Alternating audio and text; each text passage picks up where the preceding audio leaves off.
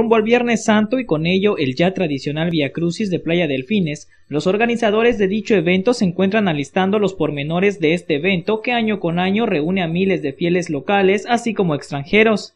Se estima que en este acto participen alrededor de 250 personas como actores, por lo que incluso los ensayos han comenzado, refiere el vocero de la prelatura Cancún Chetumal, Luis Octavio Jacobo.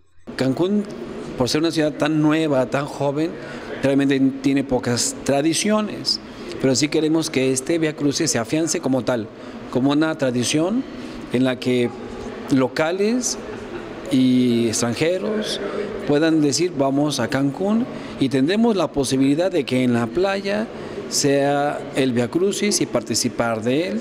Si los ensayos ya comenzaron, tenemos una preparación espiritual muy seria, muy intensa y también los ensayos profesionales, la actuación, los diálogos. Son 250 personas, alrededor de 250 personas que intervienen en este Via Crucis.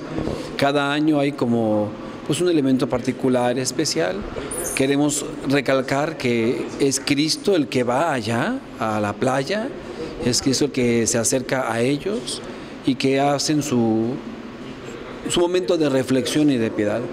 Dijo que los permisos y demás detalles ya se encuentran en trámite, por lo que en breve se tendrá todo listo para este, que es uno de los eventos más importantes para la religión católica. Eh, ya está todo viento en popa, los permisos, de alguna manera las preparaciones, insisto, personales y profesionales, los diálogos, ya está todo preparado.